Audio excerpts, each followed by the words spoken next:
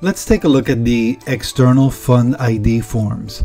These are unique forms that allow you to accept payments for specific events or maybe even online giving or something related to just collecting funds through your fund ID forms.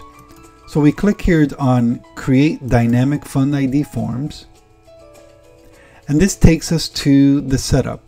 So let's say you want to create something for a sale. Okay. So let's say this is a t-shirt sale. And you say all t-shirts are being sold to raise money for our new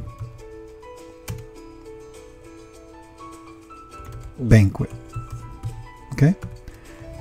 So then you can add a color if you like to your title. It can be a red color if you like. And then you want to decide which fund ID are you going to apply. So we're going to select special projects. If you have an image, you can click on the image and upload the image here. So then what you want to make sure you do in the description is be specific. You know, we are asking for donations of $25 per person at a minimum to support this great event. Okay, now once you do that, if the font size of the title needs to be a little bit bigger, you do that, you check all your information, you've got the fund ID, in this case, we don't have an image, but we're going to select create. So let's go to the t-shirt sale and let's see how it looks. So notice here there's a unique uh, form URL.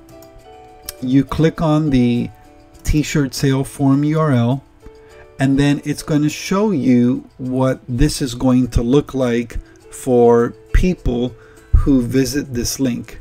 Now, when you when you visit this link, for an example, you'll be able to see what it looks like. Here's a t-shirt sale. Again, if you have an image, that image will take this entire back section. So if a person comes here and they are in your database, they can just start entering their name and they will automatically auto-populate.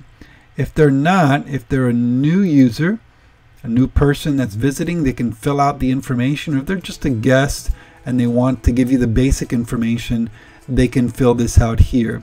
So here you see the special projects, the amount, they would enter the amount here, let's say $25, and then they would put any notes that they would want to place. If it's a recurring payment, okay, they can put here recurring, and the recurring mode is weekly, and then they can say, okay, once a week, or if it's just a one-time payment, they can not check that at all and it'll be fine. Once they click on pay now, then again, we didn't put in the last name. So let's say Mark Conter and then click on pay now. And then the person will be directed to pay. All they have to do is enter their email, and their card number, the date on the card, the security code.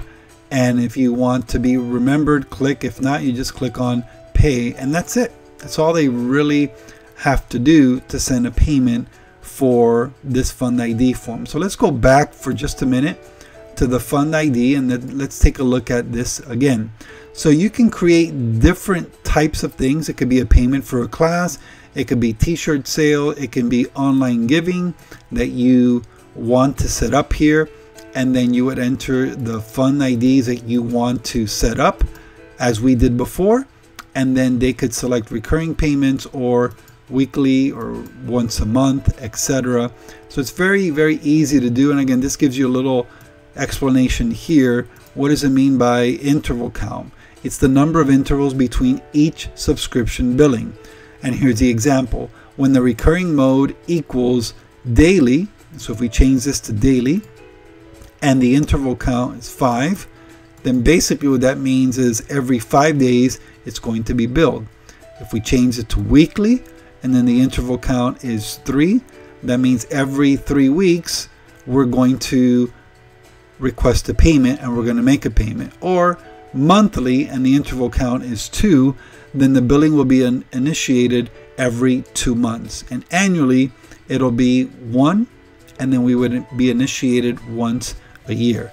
So obviously, the maximum amount is 52 for weeks, 12 for months, and one for annually. Then once they click on Pay Now, then they can pay and you'll be fine. They can share this, they can tweet it on any of the social media sites that we have here available. But this gives you the ability to create a form that is simple to use but very effective to capture money quickly. And you can paste that link on social media sites or on your church website. So that gives you a little bit more help or a little bit more of an explanation on what the external fund ID is for. Again, if you want to create one, you can start from scratch. The information is very basic, but the description is important because this is what's going to guide the person.